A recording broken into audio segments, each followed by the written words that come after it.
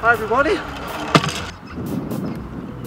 We're going to be looking at today at some uh, Disney films you might not have heard of, some underappreciated classics, some hidden gems. I'm just going to go through uh, some quick ones I found out and here's the very first one. Is uh, Condorman starring Michael Crawford and Oliver Reed. Uh, Michael Crawford most famous for Some Mothers Do Have and things like that when I saw this as a kid, this was like, I didn't really realise it was a bit of a sort of a pastiche and a bit of a parody of like action films, but it's really cool and it's one of the very first British guys that went over to America and he got this contract from Disney and I think this just went down the toilet, but yeah, Condorman and check it out. This is one where you don't get really much macho street cred for liking this. He's a Got the classic uh, sexy sticker on there, perfect for Mother's Day. For some reason, I think I've probably said this in other videos, but it's uh, for some reason I love horse racing films and especially ones based on true stories. This is a Secretariat, this horse that won the Triple Crown and it was like amazingly fast. It was like the Daley Thompson of horses, but Secretariat. This is a really hidden Disney gem. It's like one of the first Disney films where it was like quite a bit of CG and they were really sort of pushing the envelope and they were doing one of those sort of fake prehistoric documentaries where they sort of give the dinosaurs sort of human characteristics and things like that. And I'm not even sure where this come from because I can't remember buying it but it was at my dad's house but dinosaur dinosaur check it out Iron Will, this is a, an interesting film because it's kind of almost reminds me of like White Fang or something like that. And I looked on IMDb and I almost thought Jeb from, I don't know if it's Jeb or Jed from uh, The Thing. I thought he might have been the dog in it, but um, he wasn't. And he's got a better acting career than most humans. I'll have to try and link that somehow, but yeah, Iron Will.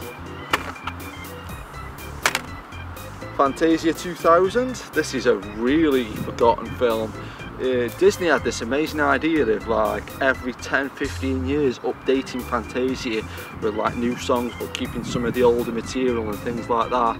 And it would have been really cool if they do another one and like sort of uh, incorporate uh, a couple of bits from this and that. But Fantasia 2000 uh, camera on me. And we bonus points if you get that reference. This is another got another sexy sticker on there. This is uh, Saving Mr. Banks perfect for Mother's Day and uh, it's this cool for a lot of reasons. It's almost like a prequel slash sequel to Mary Poppins and it's uh, one of the last Disney films where you see somebody smoking in it so respect you, saving Mr. Banks. Oh, controversial. This is uh, Song of the South. Uh, and this, I've always heard like, you know, loads of things about this film that, oh, it's dead racist and can't do that kind of stuff anymore. Recently and I don't know if I'm just um, watched short, short turkey one too many times, but I didn't see anything wrong with this and I've spoken to a few people recently and they've said similar, you know, but uh, zippity doo These are the uh, political hot potatoes of the collection. This is a true identity done in the uh, touchstone imprint of the uh, Disney family. This is uh, Lenny Henry. Uh, my claim to fame is that Lenny Henry kissed me once on the forehead. Uh, he said, I love this guy, filming uh, Somerton Stoke-on-Trent. Um, I've probably told the story a million times, so I'll dine out on that one eventually.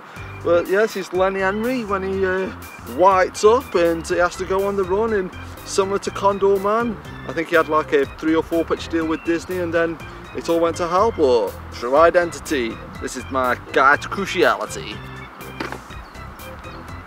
And just to show them not some old fuddy-duddy stuck in ways, here's the finest hours, proving that the Disney can still make films like The Black Hole, where they just completely disappear.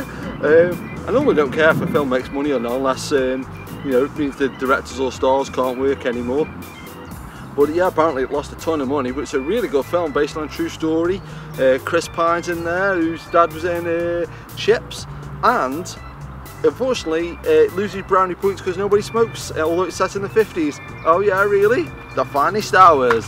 And here's the very last one. Um, Disney's The Black Cauldron. This is from Movie Time Video and um, this is like really in the same ballpark as like Tron and The Black Hole and all those kind of things and uh, yeah it's like one of those forgotten sort of films Burgess Meredith, uh, Burgess Meredith does a voice in it, and it's like one of those got classic, really scary for the kids and stuff. And uh, you, you, only see it now on like Sky Movies Disney at like 1 a.m. in the morning, but the Black Cauldron.